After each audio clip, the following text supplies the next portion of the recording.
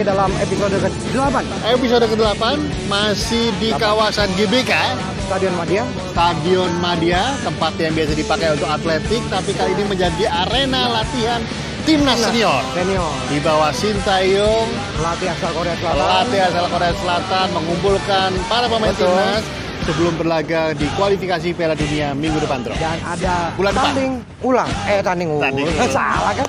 Bukan tanding ulang. Apa? Uji tanding. Ah, uji tanding. Uji coba, uji tanding. Timnas melawan Persita Tangerang di dalam sana nanti kita lihat nih bagaimana Betul. visualnya, berapa Betul. juga hasilnya. hasilnya dan kita akan ngobrol-ngobrol bareng ketua umum PSSI. Kita akan cari ketua umum PSSI, kita akan cari legenda sepak bola cewek bisa diketemuin. Betul. Siapa aja para penonton latihan timnas kemarin kan cuma latihan fisik, Betul. cuma latihan-latihan. Kalau ini uji Ya, tanding. ini langsung game. Betul, game. Dan ada juga kemanahan Solo ya. Ya, persiapan World Cup kita akan penyajikan berseri dari kota ke kota sampai nanti akan dipilih 6 yang akan menjadi host World Cup U20 2021. Pokoknya jangan ketinggalan The Reds Joint Joint Show. Show. Indonesia Indonesia harus menang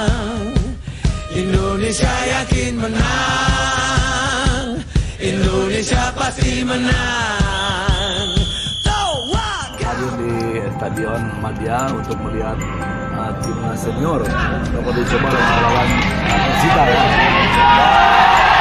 Uh, penampilan uh, memang kita tidak uh, menuju hasil akhir, tapi kita melihat bagaimana peningkatan fisik. Saya tadi diskusi sama Shin Leong bahwa fisiknya disampaikan cukup pesat peningkatannya. Itu paling penting buat dia. Kemudian dia ingin tahu bagaimana instruksi-instruksi pelatih apakah bisa dilaksanakan di lapangan. Nah, sehingga tadi dianalisa oleh yang bersangkutan. Memang menurut pelatih eh, belum maksimal. Saya tanya kenapa? Karena dia capek, konsentrasi kurang. Artinya memang dia eh, cukup over untuk eh, fisiknya. Saya tanya lagi kenapa capek tapi dia mainkan. Di situ kita ingin melihat bagaimana penampilan yang bersangkutan saat capek. Nah, sehingga hari ini mungkin eh, kita lihat pertandingan sampai terakhir. Yang jelas eh, apa yang disampaikan Sinteyong sudah mulai bisa dikenal oleh pemain. Passing-passing sudah kelihatan tadi ya.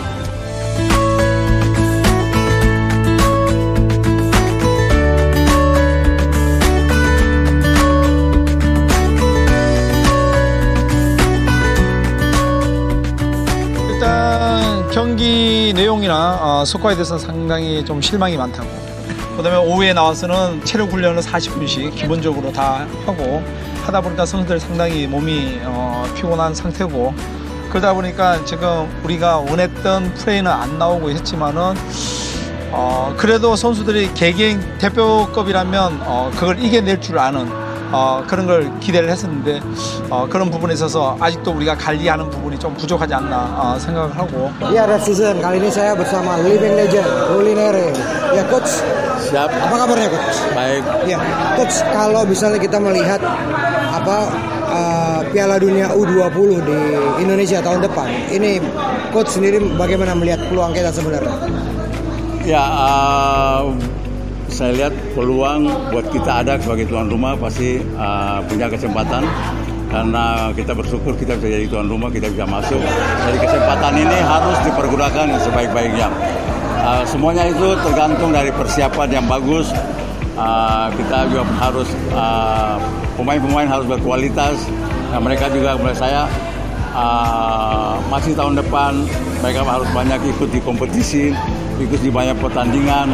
Itu sehingga bisa menambah uh, kepercayaan diri untuk pemain-pemain itu sehingga bisa menjadi satu tim yang baik untuk bertanding uh, untuk uh, Piala Dunia U20 nanti.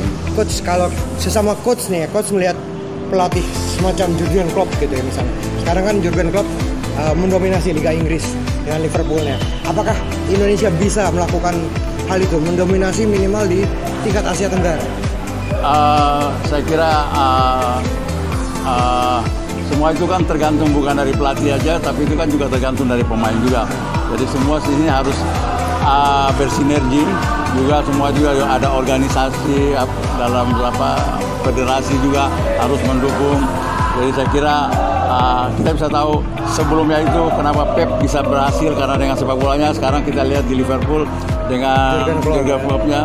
Jadi saya kira sepak bola itu kan berkembang, berkembang. Jadi untuk uh, kita mau seperti mau klub, tapi kita juga harus punya pemain-pemain yang punya karakter, harus punya fisik yang bagus, harus punya skill yang bagus. Tiga itu harus punya sama pemain-pemain kita. Ini juga yang menjadi uh, kendala buat saya menjadi kendala untuk kita nanti karena kita mencari pemain yang berkualitas itu kan dituntut dari kompetisi yang bagus. Dia harus sering bertanding itu mendapat apa mendapat nilai-nilai plus untuk pemain tersebut. Bagaimana terakhir nih coach? Bagaimana seorang pelatih menanamkan filosofi seperti yang dilakukan oleh Jurgen Klopp? Jadi siapa pun pemainnya ini menerapkan filosofi yang sama ketika bermain. Ya, filosofi ini kan tidak bisa dibangun se- sebentar. Filosofi itu harus dibangun dari usia muda. Pemain-pemain itu kan harus dilatih dari usia muda. Ada step by step baru bisa mencapai sesuatu yang di- diharapkan. Kalau buat kita kan kita sekarang baru mulai dengan Villanesia itu ditetapkan di usia muda. Terus ada U16, U18 nanti di 5 tahun, 10 tahun baru kita bisa bisa menghasilkan. Jadi kalau buat sekarang kayak buat saya mungkin ada tapi uh, membutuhkan keajaiban. Tapi sekarang arahnya udah jelas ya, udah udah benar ya, coach. Sekarang PSSI sekarang sudah membuat Villanesia itu filosofi sepak bola Indonesia.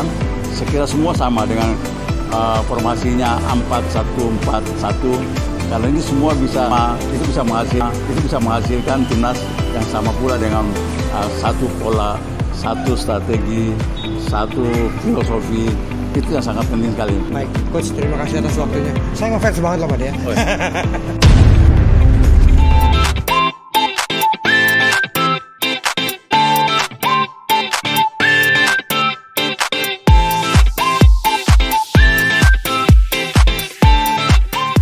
Saudara, ini adalah Stadion Manahan baru yang akan diresmikan dan juga dipersiapkan menjadi salah satu kandidat tuan rumah Piala Dunia U20 2021 tahun depan. Kualitasnya sangat internasional, lintasan atletik, kemudian rumput, sudah single seat, sound system, kemudian layar lebar dan segala hal tadi ditinjau oleh Ketua Umum PSSI Muhammad Iriawan bersama dengan Wali Kota Solo FX Hadi Rudiatmo dan juga kemarin meninjau lima lapangan pendukung di Solo untuk diputuskan apakah akan menjadi salah satu host cities Piala Dunia U20 tahun depan.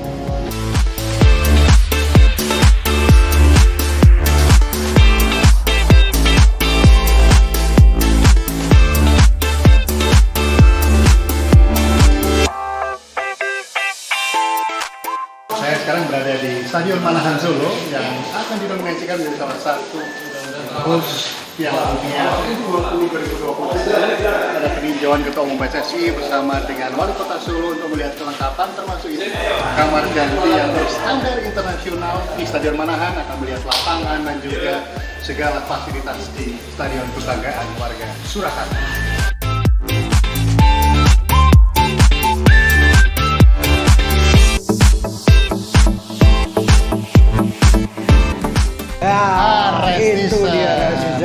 Episode ke-8. Kita berada di Stadion Madia dan menyaksikan uji coba tim nasional senior. Pertama kali pelatih baru asal Korea. STY, Shin Tae-yum, pelatih. Kemudian besok akan dikembalikan ke klub. Bulan depan dipanggil lagi pertengahan Maret sebelum melawan 19 19 Maret Thailand. Thailand dan Emirates. Walaupun kita kalah, Uji coba melawan tim Persita. Benteng, pendekar Tejudane, Persita kalah tapi ya nggak apa-apa. Yang dicari bukan menang kalah. Betul. Ini adalah latihan keras untuk menyatukan kerjasama, saling beradaptasi dengan pola permainan yang baru. Betul. Dan tadi kita udah ngobrol-ngobrol sama Ketua Umum PSSI. Ketua Umum PSSI Muhammad Iriawan menjelaskan bagaimana adaptasi Betul. pelatih yang kemarin kita lihat agak kaget terlalu keras, terlalu disiplin, latihannya siang-siang, pemain salah oper dibilang kayak anak SD, wah itu nanti bisa dilihat deh footage-footage-nya. Tapi itulah memang berbeda gaya, beda orang beda gaya. Iya. Beda. Ini saya gayanya begini. Gayanya Mas gitu. Jojo beda. Kemudian ngobrol sama siapa lagi tadi? Dan Ada living legend. legend. Living legend. ada legend. Nere pemain timnas tahun 80-an cukup jaya Indonesia Betul. waktu itu sekarang masih menjadi head coach untuk pelatih timnas putri Indonesia Tadi kita ngobrol-ngobrol sama Om Ruli Nere ini tentang Piala Dunia atau persiapan pemain-pemain kita melawan Piala Dunia. Ya dibandingkan era Uh, Om 20. dulu. Nah, kita juga bercerita tentang bagaimana persiapan Piala Dunia U20 dari kota Solo, Stadion Manahan, menyaksikan bagaimana stadion itu dilihat oleh Ketua Umum, diresmikan oleh Presiden Jokowi pada renovasinya Betul. tahun ini. Bagaimana siapannya? Pokoknya ikuti terus. Kita akan berjumpa lagi di episode selanjutnya. Jangan lupa subscribe. subscribe, like, Like dan komen. You'll never walk alone. We all the